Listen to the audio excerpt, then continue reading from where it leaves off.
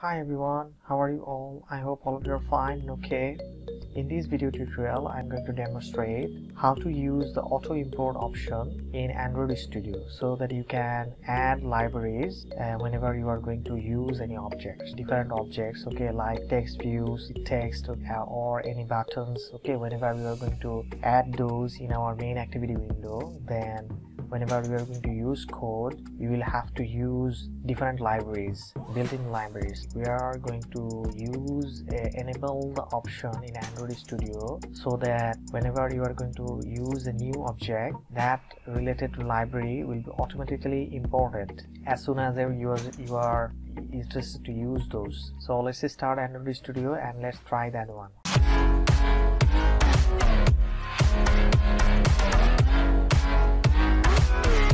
search android studio. So here is our android studio. You can pin it to taskbar and we are going to use our project here and it is a new project and we are using java language instead of using kotlin. Okay clicking on this project give it a little time so that the project can start. And here is our project. Here is the activity main XML window and this is the main activity window and you can see the extension is Java. It is not Kotlin we are using uh, Java language. So here is the text view. So let's go to the main activity window and let me show. This is the default new project and here we are using Android. And this main activity.java file is located within this Java folder and then examples dot so as the name of the project and this is the main activity window. And let me show you.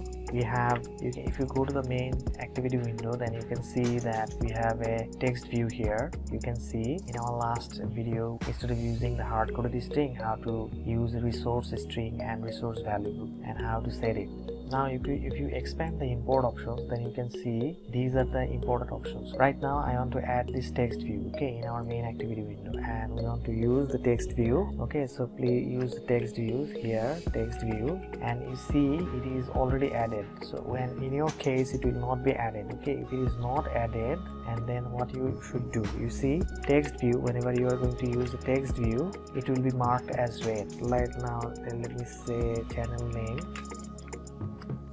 okay and channel name.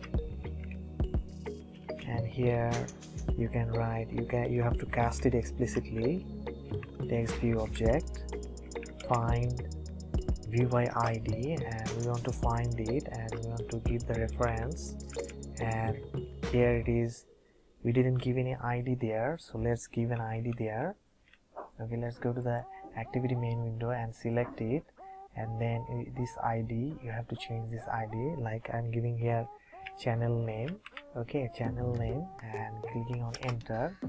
If you enter and then if you refactor then it will be changed. Okay and you can see you can see the code window also that it is also changed. And the id is now channel name. Use this one in our main activity window here and you can see r then id then here you can see channel name is now available. But these are red mark. Android.widget okay text view. This is a widget and you can use these in two different ways okay? If you want to you can do it manually but you can do it manually by using alter then enter or you can use another way. In this video tutorial my main focus is to use it automatically. Instead of using the alter enter instead of using alt enter we don't want to add. If you press on alt enter it will be added here imported. Android.widget.text view. But i want to add this automatically so you have to enable it. So go to the settings here go to file and then settings then go to editor and then go to general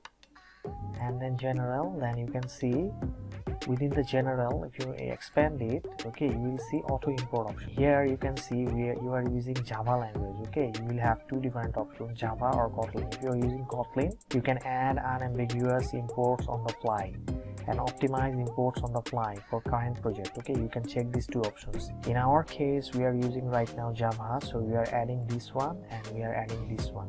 Insert imports on paste. Okay whenever you are going to paste it it is selected all. And here these two boxes are also checked. Main focus is to enable these two options. These are the check boxes to enable those. We are using java that's why we are enabling these two options. Okay add and unambiguous imports on the fly and optimize imports on the fly for current project. And we want to add it so you are clicking on apply to apply it. Okay clicking on ok. Now you don't have to use anymore alt plus enter and it is automatically added. If you use a different widget okay if you are going to use a different widget here like you are using a button or you are using edit text anything that you are going to add here whenever you are going to mention it here by using id okay then you can use that easily and it will not be it will not ask any again plus enter okay. Instead of pressing alt plus enter it will be automatically added because you have enabled this option okay and it will be automatically imported.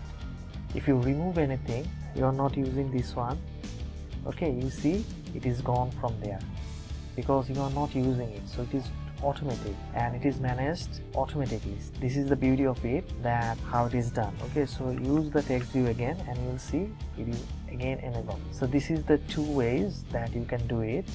One thing is you can do it manually by using alt plus enter or you can go to the files and then settings and then you can go to editor window editor part then general within general auto import is there okay? And you have to just enable these two options so i hope that you have understood how to uh, enable auto import option so that you can import the widgets automatically. You can import the libraries required libraries automatically within android studio. You can also check the project here. Like if you run it then and we don't want to use pixel we want to go to the avd manager and then you want to use the nexus okay now it is running. And start it. See it is here. Okay. And you can check also in this way.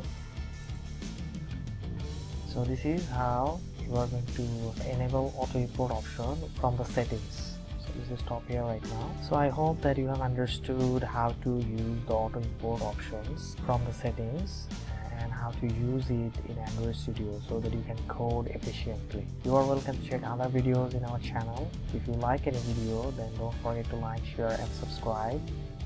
See you in the next tutorial video. Until then, take good care of yourself.